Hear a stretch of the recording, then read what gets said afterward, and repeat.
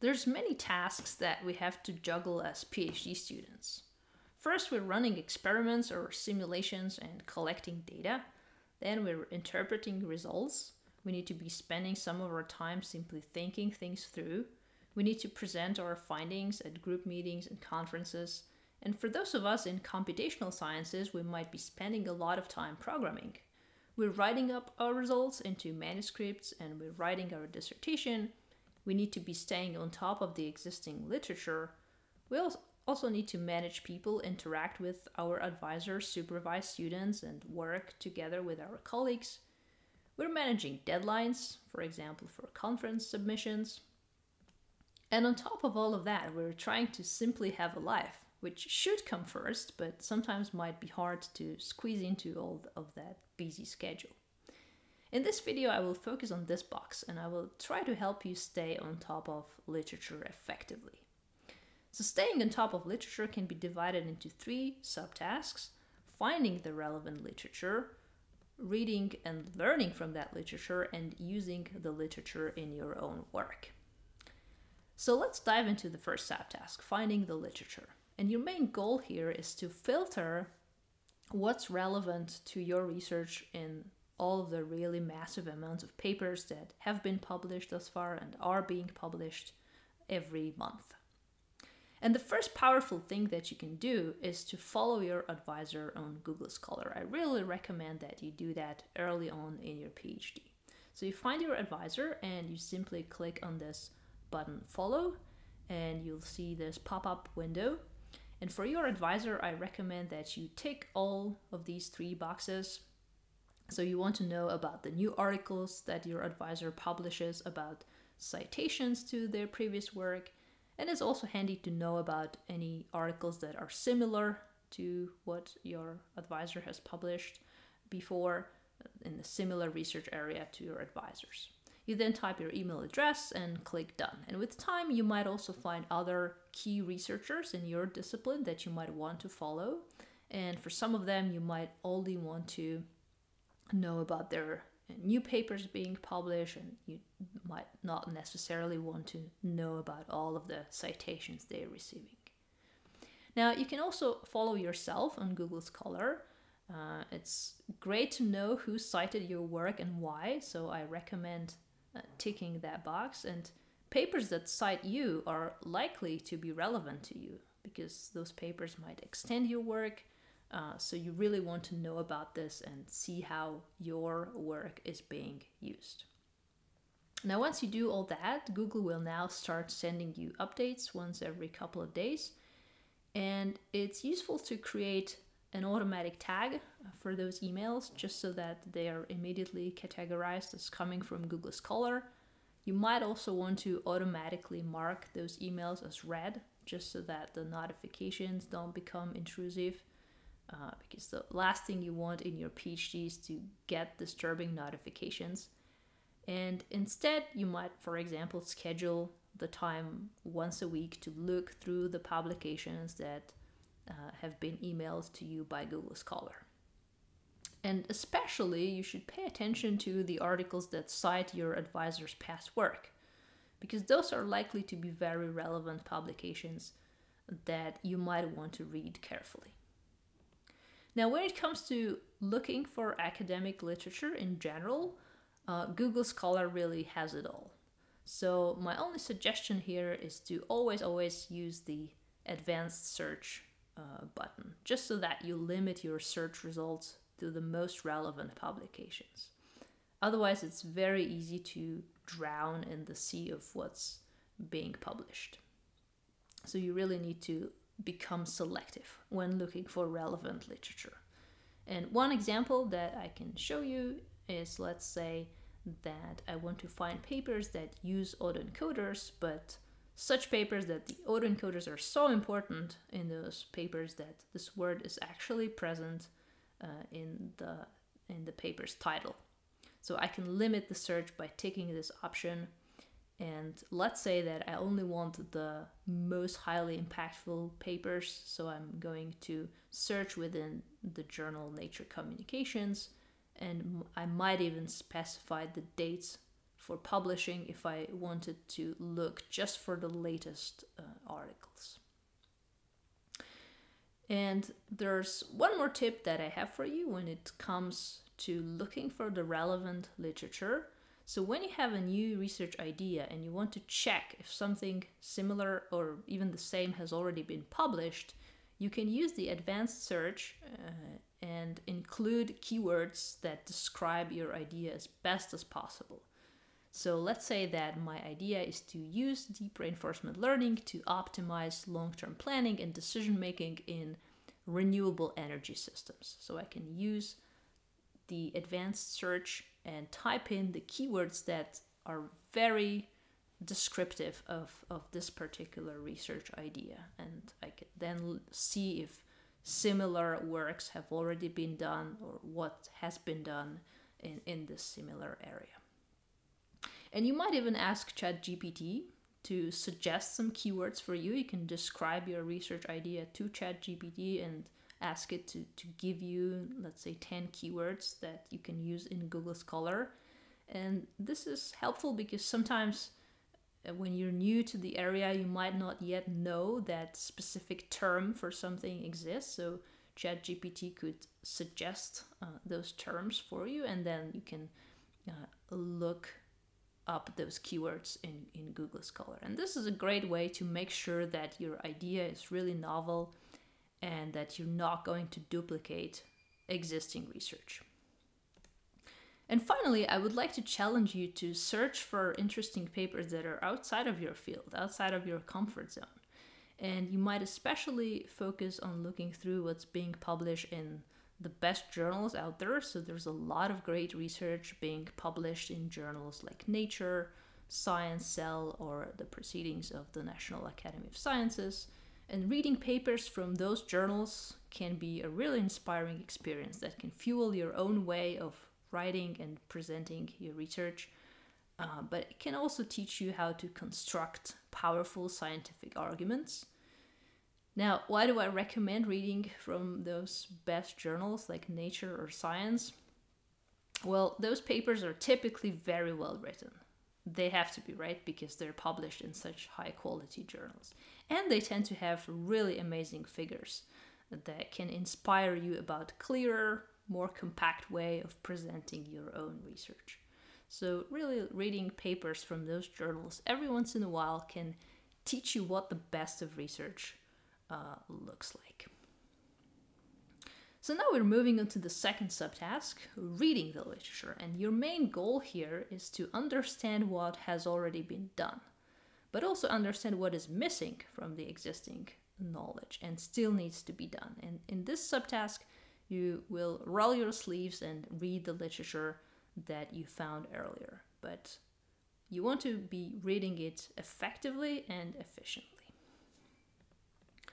So, what should you take out from each paper that you read? Well, first, there's three high level items that you should aim to understand from any given paper.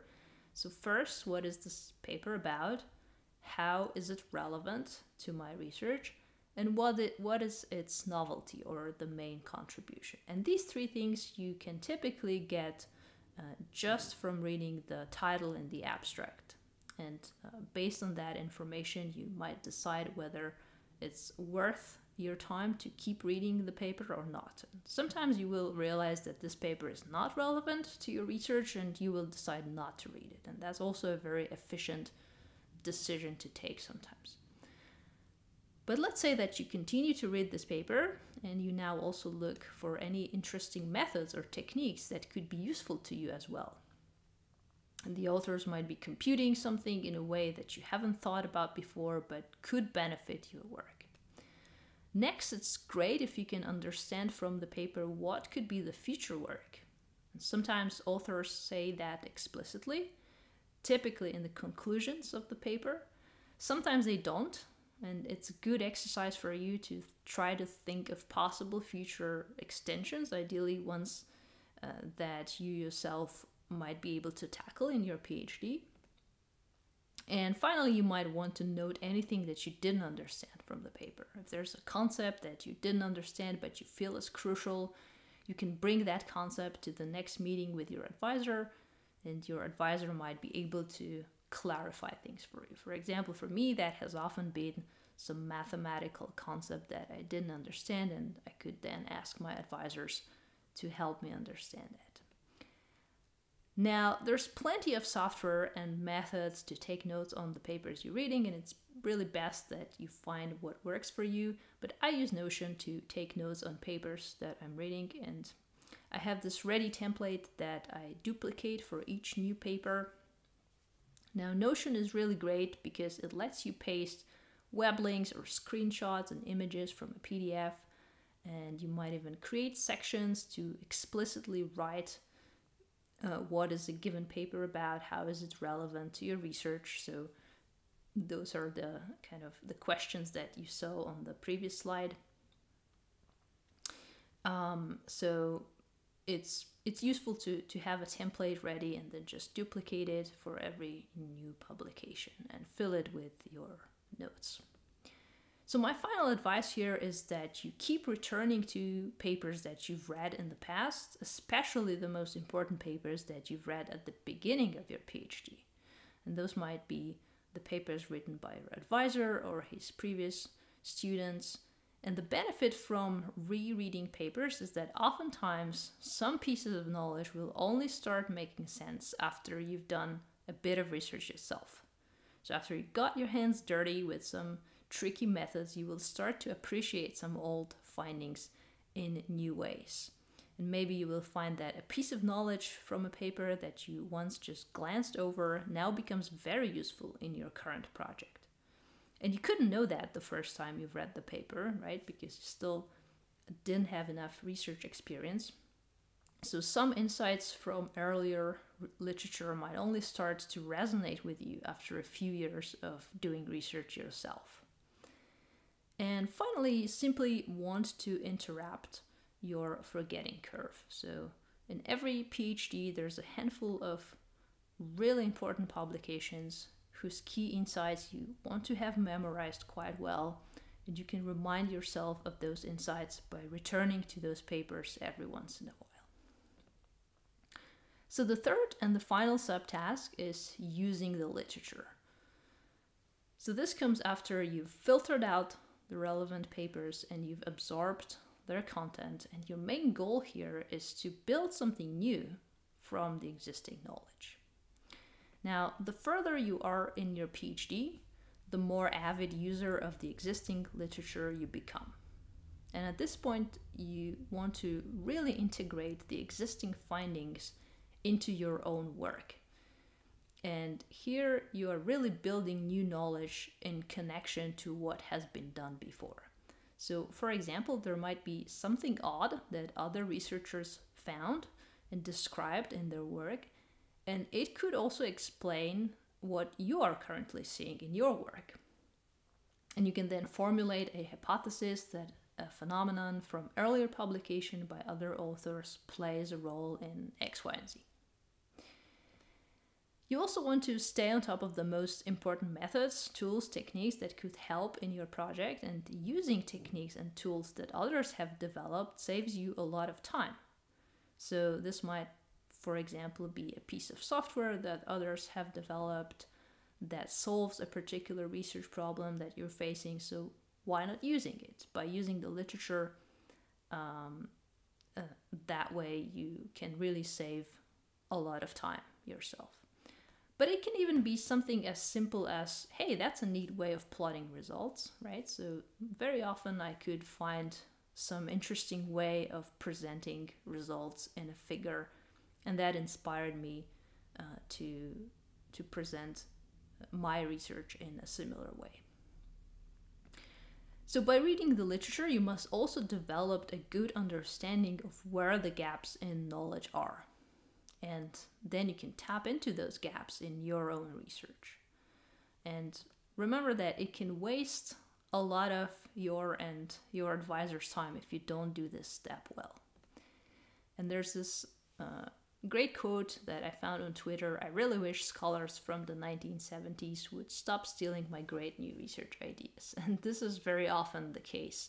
Uh, in research, unfortunately. So we have an idea and then we do a little bit of literature search and we find out that this has already been done, you know, decades ago. And it's great if later in your PhD you also develop this understanding of what it is that your field really needs right now. What contribution would support your field the most right now? And this is really the way to create helpful and impactful research. So use the gaps in the existing literature to develop something new uh, and impactful. Now, I would argue that citations are proof that you're using the existing knowledge. So, my final tip here is to be generous with citations when you're writing a paper or your dissertation. And there's a great quote by Professor Tara Brabazon that citations loan us expertise. And I absolutely love that way of looking at the existing literature because it really loans us expertise that we don't have to acquire by years and years of our own research. We can simply use the findings of the researchers before us and build on them. So, when should you cite other people's work? Well, first, you should cite to support your claims. So, remember that any unsubstantiated claims are simply meaningless and useless in science. So, for example, let's say that you write a sentence like earlier research suggests that there's no one size fits all, or evidence from earlier research suggests that this and that. And if you don't add citations in sentences like that, then the question becomes, you know, which research or who suggests that? Or if you say something like the current trends indicate that, well, where are these trends reported? Or this has been studied in the past by who? or the method XYZ has often been used for this purpose. Well, who used it and is it really being used often? So who use who often uses it? Or using XYZ is considered the default? Well, considered by who? Or this variable is typically defined as this and that. Where has it been defined like this? Or X, Y, and Z is a good heuristic to select something. Something, well, who uses that heuristic? So any sentence that looks like this should really have a citation. And uh, by giving a citation at the, at the end of a sentence like this, you let the reader verify your claims. You allow the reader to check those sources and you give the reader a chance to either agree or disagree with you by performing their own checks of the research reported in those uh, citations. So, of course, you should also cite when you use an existing method or when you use someone else's software. Now, uh, that's just basic honesty and giving credit, but it also prevents you from plagiarism. So, if you don't cite the relevant source and give an impression that you yourself have come up with a method or have developed a software, then that's plagiarism. Uh, you should also cite to point out missing knowledge. So, citing literature that way can help uh, signal the novelty of your own PhD work. Now, that's a tricky one because how do you prove the existence of a gap in literature? And there's a couple of ways that you can do that. So, for example, you can say that research done in one to three, there's three citations, uh, considered a method XYZ but did not consider the method ABC, which can be relevant when blah blah blah. Um, so this signals a, a missing approach. Uh, and you can also say that even though such and such research has been conducted, to the best of our knowledge, no study has been conducted that does this or that, or maybe such technique is not available yet. Now, this signals a, a missing study uh, or, or a missing technique. Uh, and you might also find that a specific paper showed that XYZ, which now begs the question whether, you know, ABC holds as well, for example. And it often happens in research that an earlier study triggers some new questions that ought to be answered in the future. And this might be your chance to create novel work. You should also cite to acknowledge others' work that's close to yours. And first, not doing that can be seen as arrogance by the reviewers. But also, from the perspective of someone who reads your paper, they want to find references to similar works, and that helps them gain the relevant knowledge of the field. So it's useful if you cite uh, cite the work that's that's very close uh, to your current work. And finally, you can consider citing to simply satisfy the reader's curiosity about a subject. So maybe there was a, a really interesting paper that played a big role uh, for you in formulating your ideas, in shaping your thinking, uh, or, or one that particularly helped you understand the concept. So why not citing it? You know, your paper will likely be read by another PhD student in a similar position as you, so you might also inspire and, and help that other student it, with, with the paper that was inspiring to you. And finally, let's look at staying on top of literature from the perspective of the entire PhD. So let's see how the three, these three subtasks evolve throughout the PhD. So finding literature, reading literature, and using the literature. So let's say that this timeline is your PhD. This is the start of your PhD, this is the end of your PhD, and this is somewhere in the middle of your PhD. And on the vertical axis, we'll put the amount of effort that you spend on each subtask. Now, I would say that reading literature evolves like this throughout your PhD. It's heavy at the beginning, but then it decreases as you progress in your PhD. But it doesn't decrease because you're giving up on the task of reading literature. It simply decreases because you're becoming better at being selective and you know how to filter what's important to you and you know how to extract important information quickly.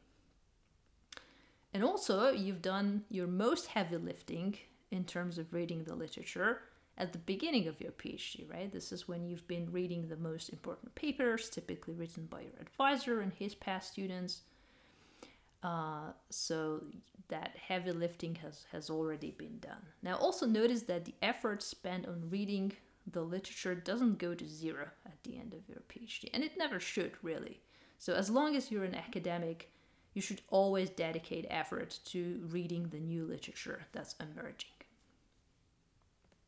Now, the effort spent on using the literature might look like this. So, at the beginning of your PhD, you won't be using the literature very much this is when you're still starting off with your own research. Uh, but closer to the end of your PhD, you're becoming an avid user of the existing methods, tools, techniques, software, ideas. So you're constantly doing your own research in relation to the research done by others. But even to create your first publication, let's say somewhere in the middle of your PhD, you had to already use that much of other people's research. You were relating to that research in some way. And finally, finding research should be a steady activity that you sustain throughout your PhD and throughout your academic career, really. So you should always be on the lookout for interesting and relevant papers that can enrich your work. So I hope that with these tips, you can find a lot of inspiration in the research work done by others.